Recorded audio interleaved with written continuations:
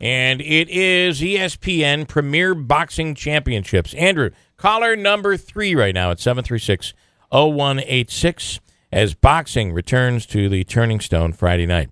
The featured bout is undefeated fighter Miguel Flores, who's 20 and 0, taking on Ryan Kielczweski, uh, the Polish, what? The Polish prince? I believe that's what they're calling him. I'm pretty sure. It's all happening in the event center on Friday night. Doors open at 6, tickets starting at $25. Call 361 SHOW or Ticketmaster for tickets. If you want a pair of tickets, we'll take caller 3 through the lines right now. And uh, a quick little question we'll throw at you and give you a chance to uh, to win the tickets for for Friday night. I also have that story I wanted to I wanted to tell you about in the the dealership, car dealership in uh, in, in New Jersey. This is an unbelievable story. An Indian, so India, Indian Okay. national, they're generally Hindu. Um, a New Jersey Mercedes Benz dealership is being sued for $1.26 million after the dealer refused to sell the Indian national a brand new car on grounds that they were afraid he would sell the car to the Taliban. the Times Herald Record reports that uh, Surjit Basi, 50, went to Prestige Motors in New Jersey to replace his Mercedes ML350 SUV with a newer model and chose the larger and more expensive GL550. According to uh, the uh, the Indian National, Bassi told the paper that after he negotiated the price with the sales staff, everything went well. He put thousand dollars down on the car, had his insurance update to his policy, everything was moved over. All of a sudden, the sales manager called him into the office and said, "I'm so sorry, we can't sell you the vehicle because you come from a high risk area that buys cars and sells them to the Taliban." Now, is that true or did he make that up? He made that up? well, no, I'm sure he heard it somewhere on an overnight AM radio station. Oh, Okay. Oh, come on. Uh, that's when Bossi, who runs a medical transport company, told the manager that he's lived in the area for 30 years, has no relation to any terrorist organization. Even if he did come from, the guy's lived here for 30 years. Even if his heritage came from, even if he was a, a Muslim Saudi who, who's been living here for 30 years, you can't deny the guy a, a vehicle because you think I- he might be selling Okay. it to the Taliban. That's crazy. Um, anyway, a search by the Times Herald Record of Bassey's name on a federal database of those banned from exporting turned up nothing. Okay. Uh, he's not on any list. There's nothing there. This dealership just saw him. He looked different and thought, well, that's terrible. well, I can't sell it to you. I mean, surprisingly, it could have been the guy's doctor, right? How many Indian doctors are in the United States? Quite a few. Is that a positive stereotype? Are there positive stereotypes? I think being a, you mean as an Indian to be a doctor, that's a mm. positive stereotype, I th- I would think. Yeah. Um, okay, uh, who do we have on the line here, Andrew? I don't have my computer all set up here, so who's online? Dan. Uh, it's Dan? Dan and Oriskany. Dan the man and Or Oriskany. Uh, good morning, Dan. Or Stan? Dan. Dan. Dan. Hi, I said Dan. Oriskany. Yeah. Hi, Dan. Good morning. Good morning. How's the dog? What's the dog's name? Stella and Bella. Stella and Bella. Okay. Uh, okay, I'm going to throw a question at you here, and uh, all you have to do is answer it. You get the tickets for Friday night. Are you ready? Okay. This is kind of an easy one. Um, uh, da- da- da- I, I guess I'm wondering about this question, but I, I, I, want, I don't want to make this the question. Okay. But let's talk about it. Okay. The question is how many rounds does boxing have?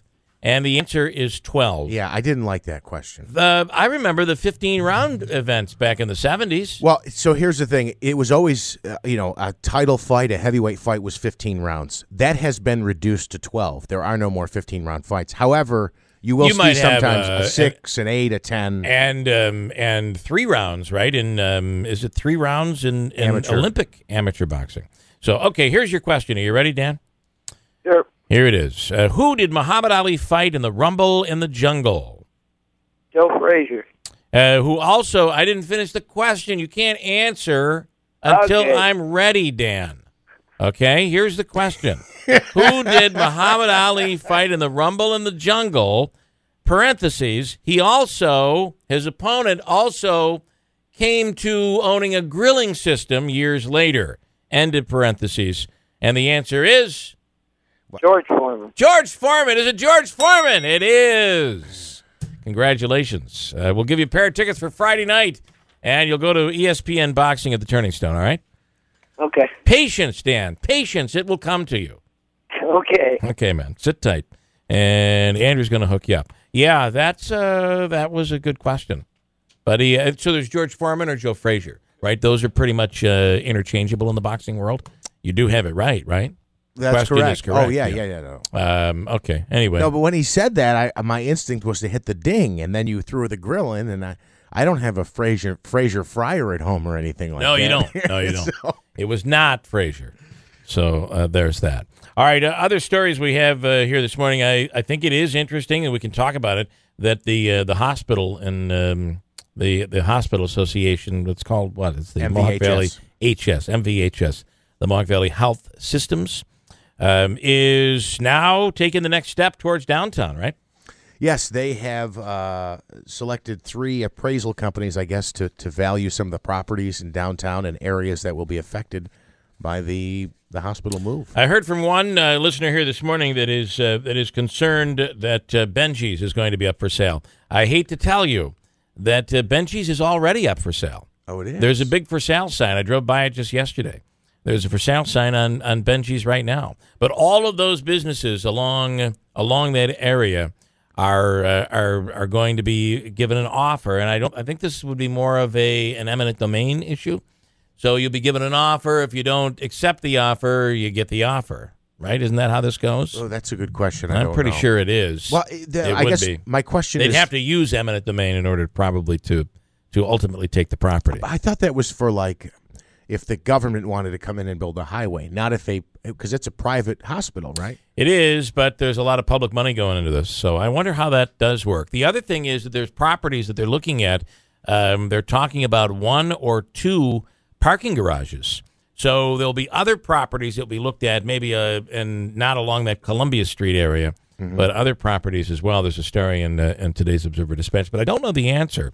On let's say somebody doesn't want to sell, I, I would assume the way the only way you could take property would be using eminent domain.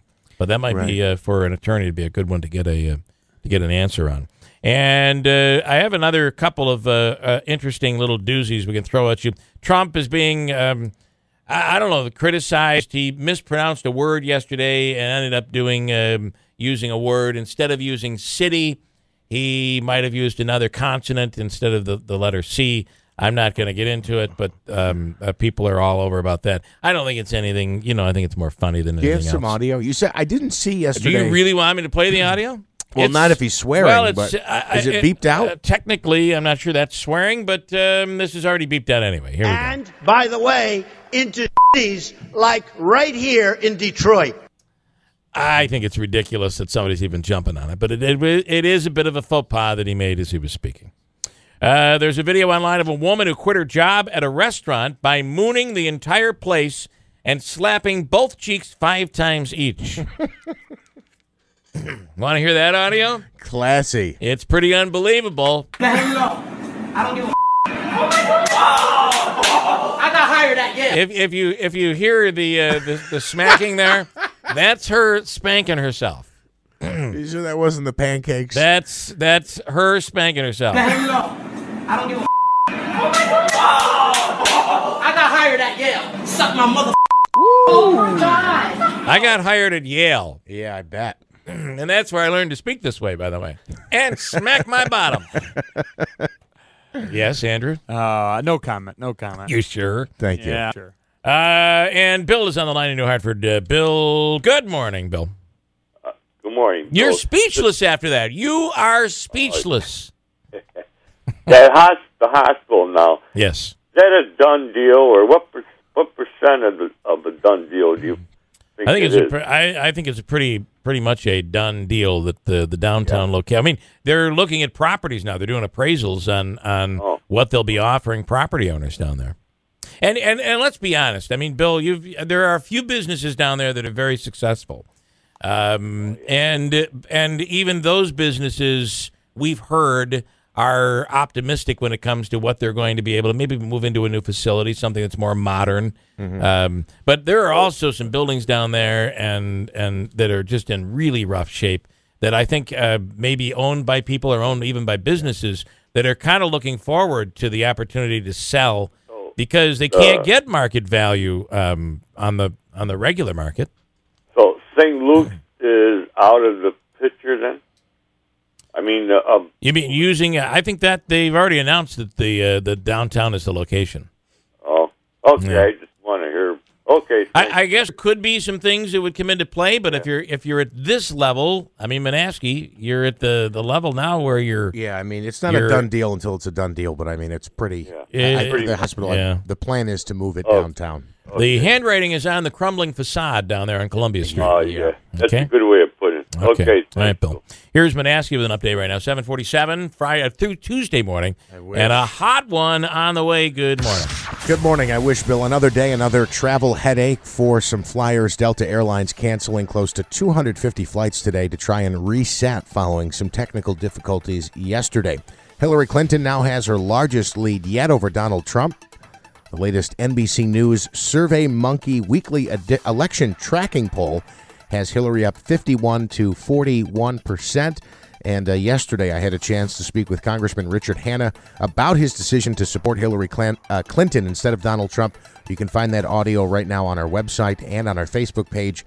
Uh, Trump, excuse me, Hanna doubling down, as we would say, calling Trump uh, erratic and It's- unstable. It's hard to trust some of these polls when their names are like Silly Monkey. Um, the Silly Survey Monkey, or Survey yeah. Monkey poll. I mean, whatever happened to the, the prestige of having a poll? A pollster coming in, and now you have all these. I mean, there's uh, how many polls are there out there? Everybody's got a poll, and everybody's got a different name. Hot day on the way today, mostly sunny with a high of 88.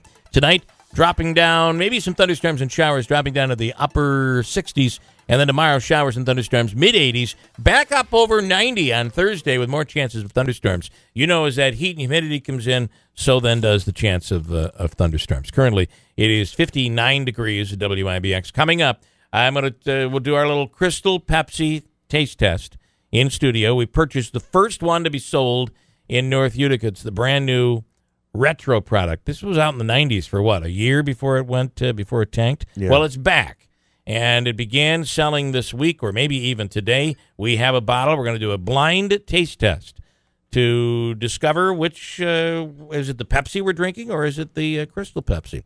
We'll get into that. Also, I want an update. Yesterday with Delta, we spoke with the uh, with the lady that was heading off with her mom on the cruise, stuck at the airport in Syracuse. They were flying. I'm saying flying by ground. They were driving in a very fast way to um, Elmira to pick up an Allegiant flight uh, where they would then get to Orlando in time to, to meet their cruise ship before it took off at 4 p.m. Did they make it? Did the flight, did they get on a flight, and did they get to Orlando? We'll have an update for you. Coming up on WIBX.